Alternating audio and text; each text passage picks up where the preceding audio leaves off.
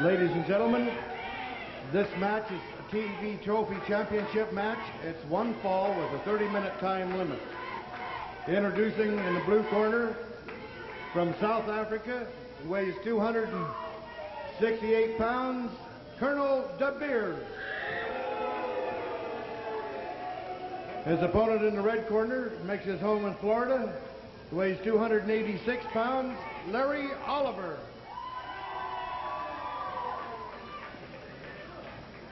We are getting ready for our TV title match, Colonel De Beers against Larry Oliver. Joining me in the crow's nest right now is the Bartman, Bart Sawyer.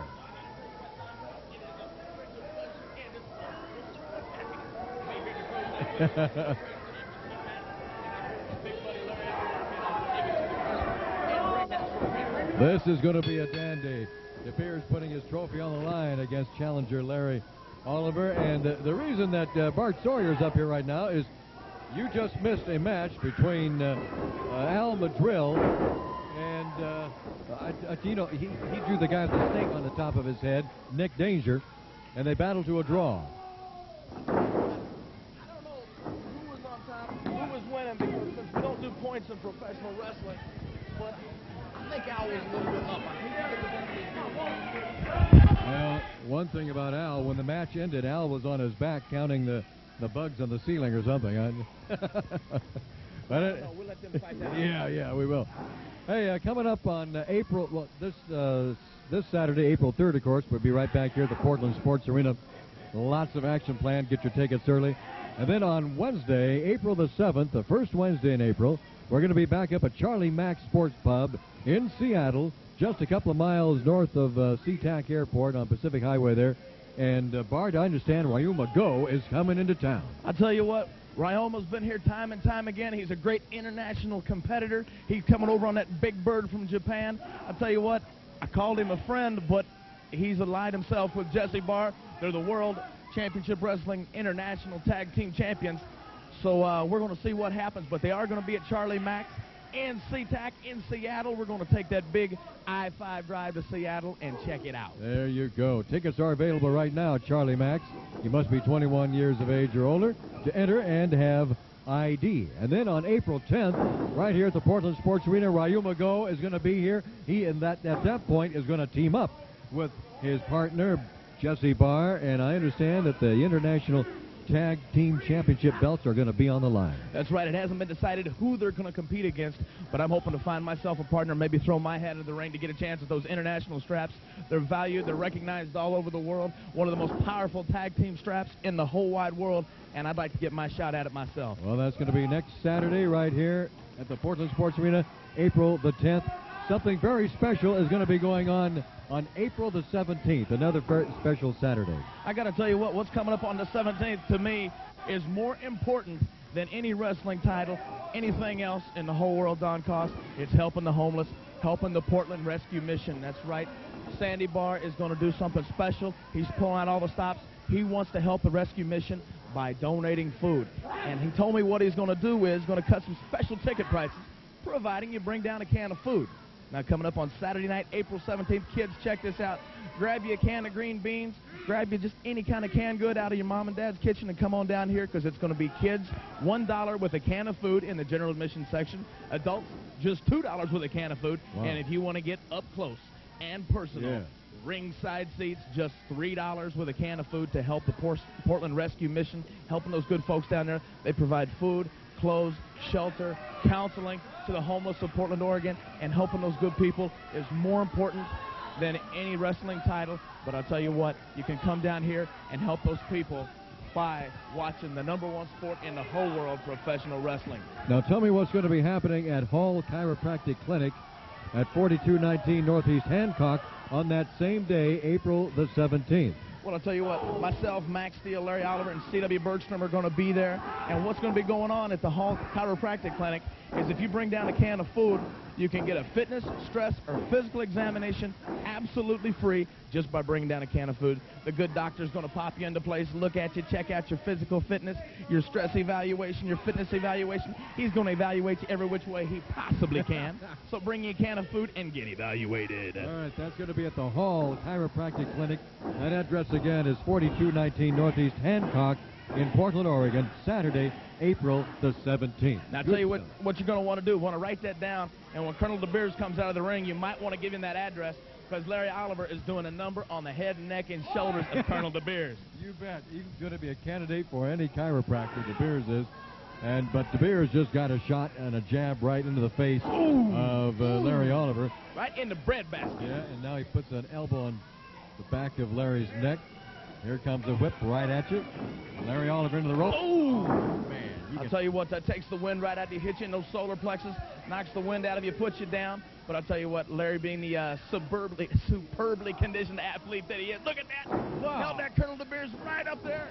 Put it right to the chops. Whoa. That's what it's all about. He bottomed Ooh. out right on the colonel's head. And our right hand turns the colonel around and puts him outside. Good night, Irene. Wow. And the colonel comes back with a right hand right in the bread basket. And here comes the. Oh, man. I tell you what, I hate to see that. The, the, the ropes in professional wrestling can be your best friend or your worst enemy.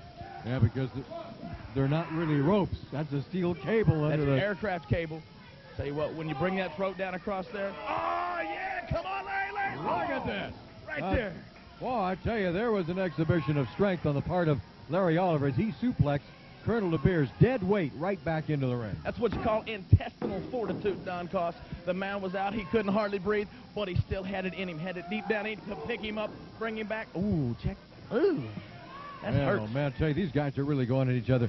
I tell you, you got to be here this Saturday night and enjoy all this in person. Wow, a rope burned right across the face.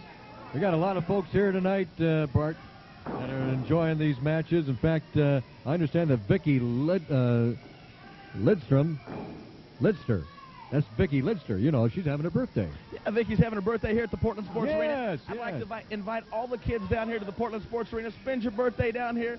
Say hello to the wrestlers. Get your Polaroid picture taken with the wrestlers. Anything like that, come on down, kids. Join it. It's fun. It's exciting. And I do want to say something right here. Kids, just say no. You can't be an athlete.